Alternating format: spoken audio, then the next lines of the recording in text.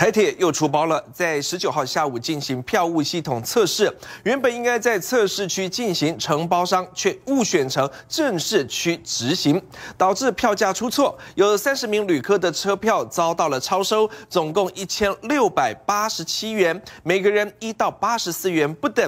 虽然寄出了公告，会逐一通知会员。但是还没有全部退款。台铁表示，没有保留车票正本，也会从宽来认定办理专案退费。未来也会利用双重认证，避免疏失。好，这样可以了，谢谢。周末下午，出游民众来到台铁售票柜台买车票，看到系统显示金额，通常都是直接支付，但就在前一天，台铁系统却出错，超收三十名旅客车票钱。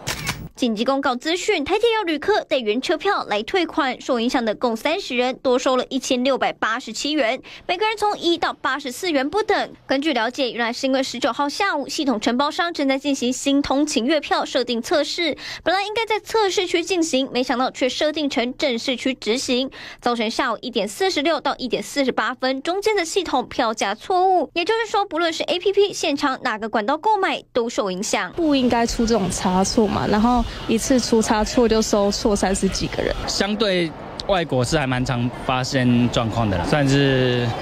正常操作吧。集询三十名旅客，台铁第一时间先请列车长通知车上旅客，如果是会员买票，也逐一通知。未来也会留意来搭车民众是否买到超收票。另外，短收部分也会对厂商开罚，不过目前还没全数收回。台铁也表示，为保留车票正本，也能从宽认定办理专案退费。一下有三个系统要修正，所以说可能赶工的状态下。